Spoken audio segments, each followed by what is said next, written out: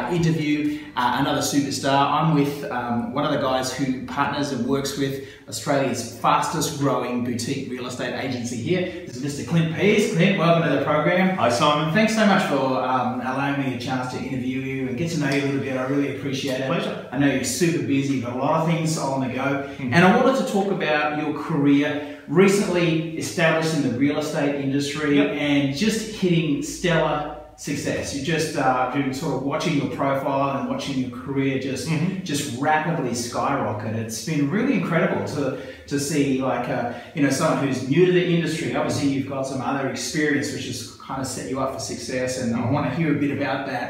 And uh, and I want to know what's what you've brought across uh, to this forum that's sort of helped you and, and sort of really skyrocket a career in a very different industry for you. For sure. Yeah. So tell me about yourself. Why why real estate?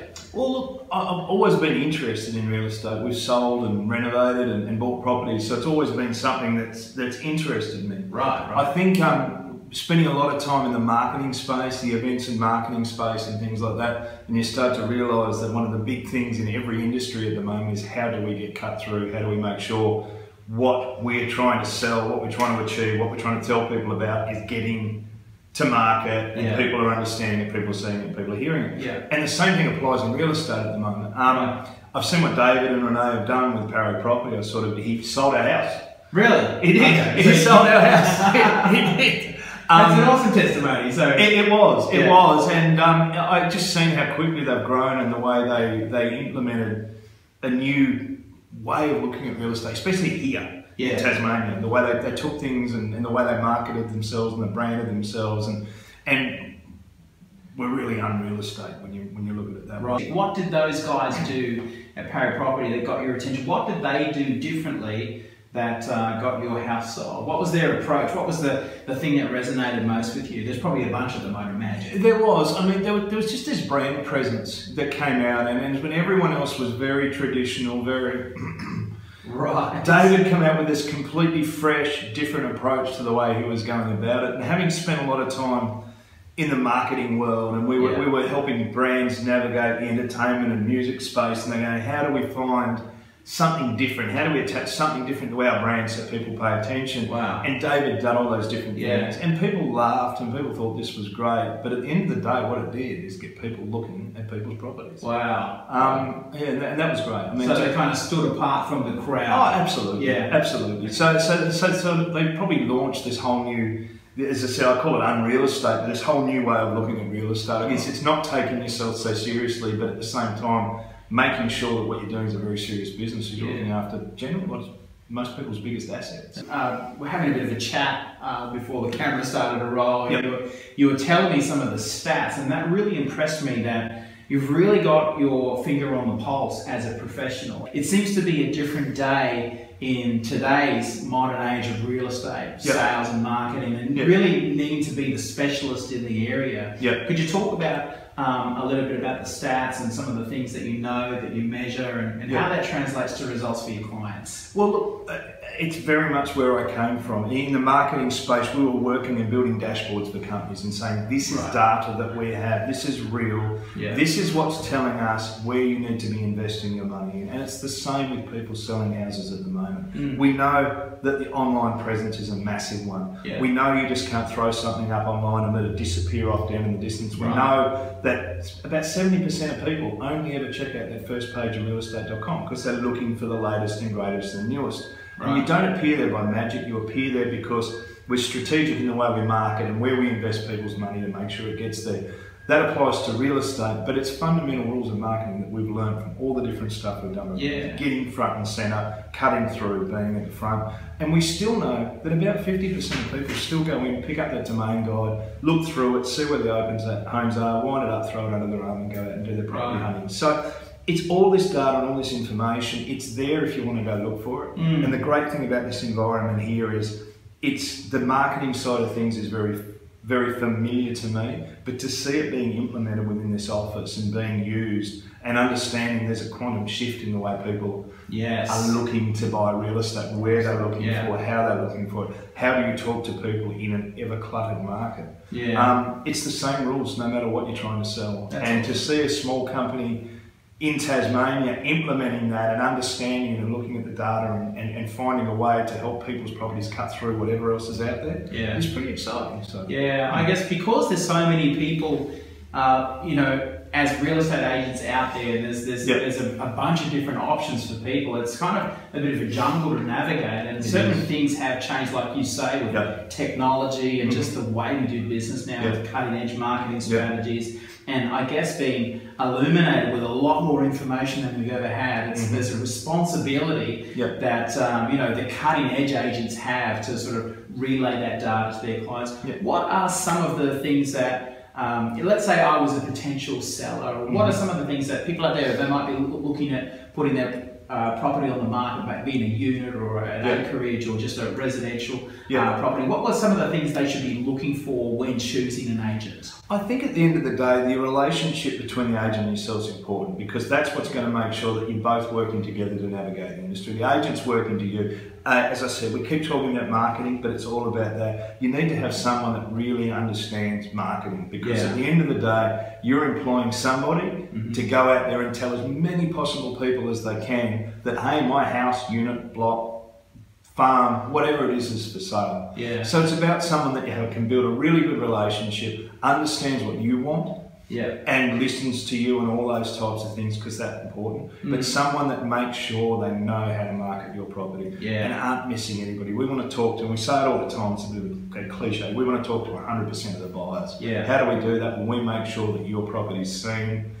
above and beyond anything else that's out there. So people know it's for sale. Well, I was impressed with what you were showing me before with your just your systems of your email blasting that you yes. set out to match buyers with yes. sellers and, and uh, your social media presence, the videos that you guys do, which are attention grabbing to say the least. And yeah. you know, they're, they're not all uh, full on entertainment value. There's there's different things, yeah. you know, depending on the type of property and the seller and yeah, all that sort of stuff. Absolutely, there's a time and place in all of it. You've got to we take the sale of people's property very very seriously. Yeah. At the same time, we don't always take ourselves very seriously. We have a lot of fun. What would your advice be to someone who's maybe about to enter the market, but they don't necessarily want to go through the confrontation of mm-hmm. having a whole bunch of agents at their home. Yeah mystery shopping, test them out. Go right. to open homes, see how they integrate with you, yeah. interact with you. Yeah. For one, and you know, go and talk to them, see what they do. They ask you all the right questions. Are they approachable when they're there? Right. Do they get all the details off you that they need to get? Do they ask you where you hear about? Where did I hear about this property?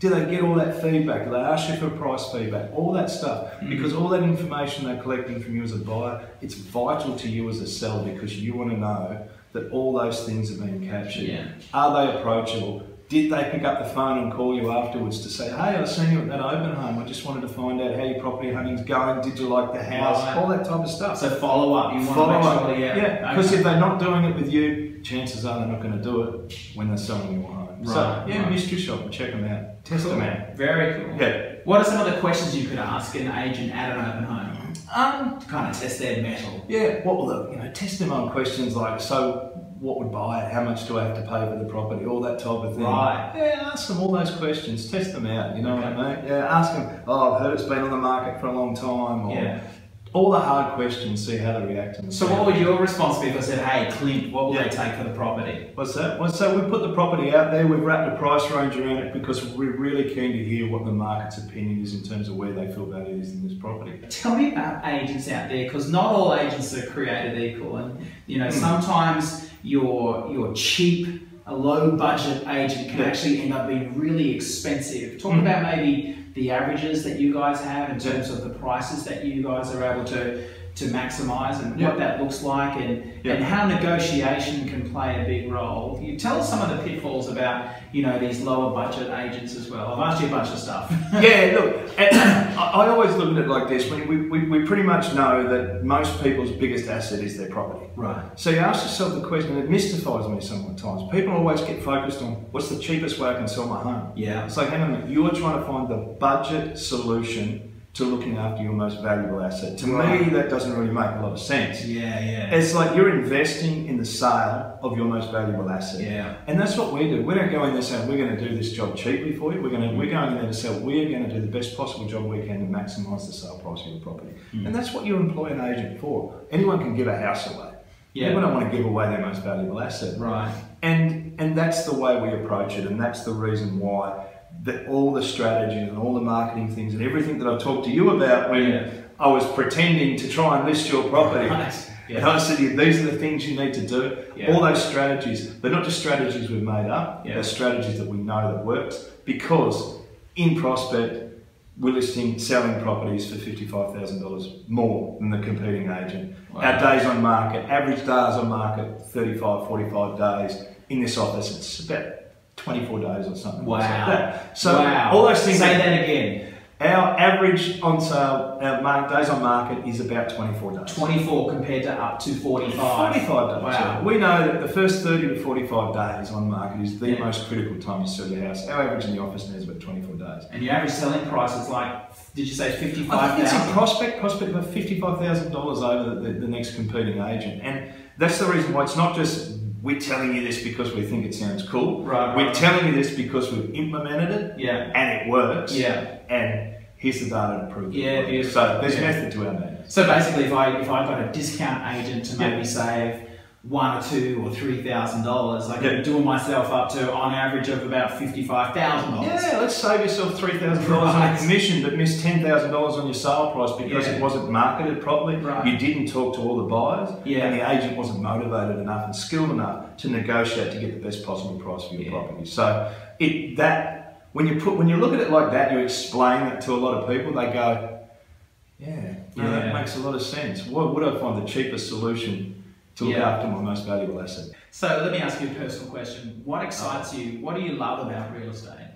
Um, I suppose when, when when I spent so long, I mean, it's the, the it's the person to person. For me, it's been business to business a lot of the times. Right. In the way we've integrated, we've solved marketing problems or sales problems for businesses. I've Yeah. done it in Australia. I've talked to a lot of brands, national brands. I've talked to brands in LA. I've talked to brands in Singapore and everything else like that. People, it's a completely different world. So no, it's not. Yes. You're talking to people and you're solving their problems. Yeah. You're listening to them, you're understanding what they're needing to do, and you're giving them the information that they need and bringing in expertise that they need. Yeah. Yeah. But it's just, it's something I enjoy doing. I enjoy talking about houses, I enjoy You real do. estate, I enjoy interacting with people and problem solving, and that's what you're doing. How long have you lived here for in Tasmania? I've been in, I was born in Tasmania, in the northwest coast. I right. spent about eight or nine years in a state. We Yeah. were back here, developed our business, sold our business, went and worked in Sydney to run that business that we'd sold, Right. spent time